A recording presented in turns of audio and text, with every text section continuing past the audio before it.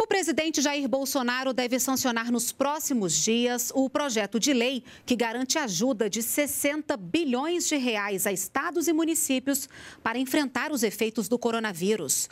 Ontem, ele se reuniu com governadores e os presidentes da Câmara e do Senado na mesma mesa executivo e legislativo e por videoconferência os governadores do país. O objetivo, discutir a sanção do projeto de lei que libera 60 bilhões de reais para estados e municípios. Mas o presidente Jair Bolsonaro destacou a necessidade de contrapartida, que não haja reajuste dos servidores e sinalizou que deve vetar parte do projeto que garante aumento de salário a algumas categorias. Quando se fala os informais perderam muito, que os formais também, muitos perderam seus empregos ou tiveram seus salários reduzidos, a cota de sacrifício é, dos servidores, pelo, pela proposta que está aqui, é, não ter reajuste até 31 de dezembro do ano que vem. Os governadores apoiaram o veto e falaram sobre a importância da reunião para a construção de um consenso entre todos os poderes neste momento de pandemia mundial.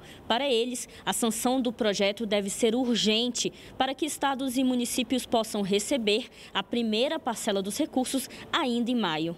Isso é crucial para os entes federados, porque nós estamos vivendo um momento de uma perda brutal das nossas receitas. O Brasil precisa estar unido para vencer a crise, ajudar e proteger a saúde dos brasileiros. Os presidentes da Câmara e do Senado defenderam o um projeto aprovado pelos parlamentares e pediram responsabilidade para enfrentar a pior crise sanitária do país. Chegou a hora de todos nós darmos as mãos Chegou a hora de todos nós levantarmos uma bandeira branca, porque nós estamos vivendo um momento excepcional, um momento de guerra.